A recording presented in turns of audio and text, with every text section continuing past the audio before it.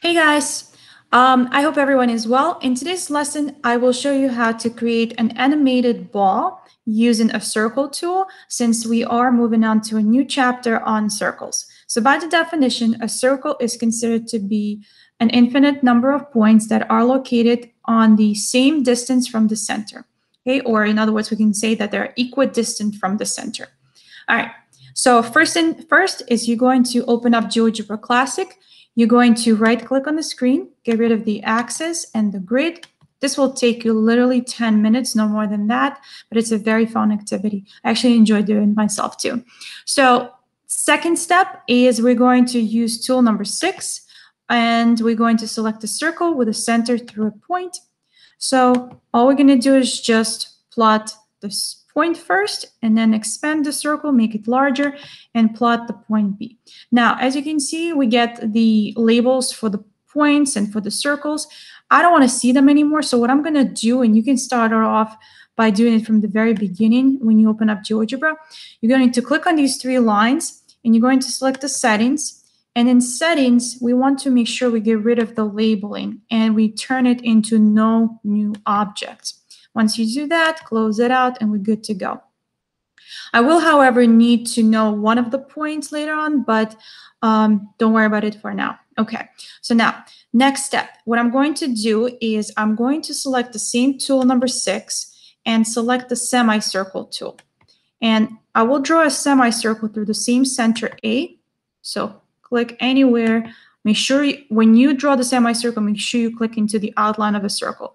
I'm going to do four more of these. It's totally up to you how you space them out. It doesn't really matter. Each and every design will be different. So I'm just going to space them out slightly. Actually, I'm going to do six in total. Okay. Now, next step, what I'm going to do is I'm going to right click on this first point right here and bring back the label for that point. Okay. Now, next thing is I'm going to right click on this point B and unselect show label. I'm going to right click on the circle itself and unselect show label because I don't want to see the point C. And also I would like to right click on point A and unselect show label. So we're clearing up the diagram, the only point that I need to see is this point C. Okay. Now also let's right click on this random point B that was left off and just unselect show object. We don't need it anymore. All right, from here on, what I'm going to do is I'm going to right click on the semicircle that contains the point C. So just on that one. And we're going to select the settings. In the settings, you're going to select tab that's called advanced. And we're going to change the color as the animation goes on, each movement will have a different color. So to do so, we're going to use the coordinates, x and y. So as the x changes, we're going to use the x coordinate that represents the point C. So whatever the point C is located at, at x, that what the red color will show. So you're going to type in x in parentheses, capital C. So whatever point you, your label has, that's the label that you're going to represent inside of parentheses. So it all depends on what kind of uh, name you have for your particular point. If you want to change it to the same way as I have it, great, do so. Then you're going to click into green color, erase to zero, and now we're going to change it to the y coordinate.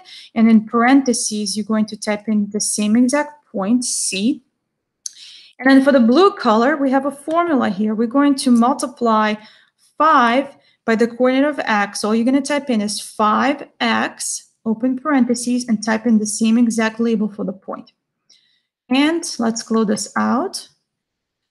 Next step, what I'd like you to do is you're going to right-click on this point C, and there's an option here says animation. You're going to select that. And as soon as you select that, the semicircle will start moving. And as you can see, it blinks up, the, the color changes constantly, which is great. We did a good job. Now, next step, you can let this go. I'm going to do the same thing to the other point. So I'm going to right click on each of these points and select the animation. Okay, so Keep doing so for all of them. Don't change their colors. We only need the color changed for one. So I'm going to do the same thing here. And one more point left. Let these arcs go. And there it is. Okay, so now as you can see, all of my semicircles are moving, which is great. Next step, I'm going to pause it. So the pause bottom right here usually is on the left bottom corner. So I'm going to pause that. I'm going to find my arc that has the color within. And what we're going to do is we're going to also trace it. So right click on the arc and select the option, not the point. Notice I clicked on the arc or the semicircle and select the option that says show trace. Once I select it and hit play, guess what happens? We get this wonderful animation ball. It's going to go around a circle. It's going to continue going and it's going to create this really cool design. Okay. So if you want to play around with this more, make it more clean, we can get rid of these labels. So we can unselect show objects, which I would recommend you guys do to make the picture more clear. And you can also make those semicircles that were created before with different colors. So it adds to it. So I got rid of all the points and now my circle is totally clear. I click on animation and there they are. Okay. And that completes your assignment. So all you would have to do is finish this off. Once you're done, you're going to save it. So you're going to click right here, click save. You're going to log in into your account. Uh, make sure it is, uh, when you save it, make sure you save it as a public file. And then you're going to share that particular file with me using a link. So please submit that link either within the comment in the classroom uh, do not email it to me, just submit it within your assignment or just paste it into Google Docs and upload it into the classroom and turn in your assignment that way. All right, if you guys have any questions on this particular assignment, feel free to let me know. And I hope you have fun doing it as I did.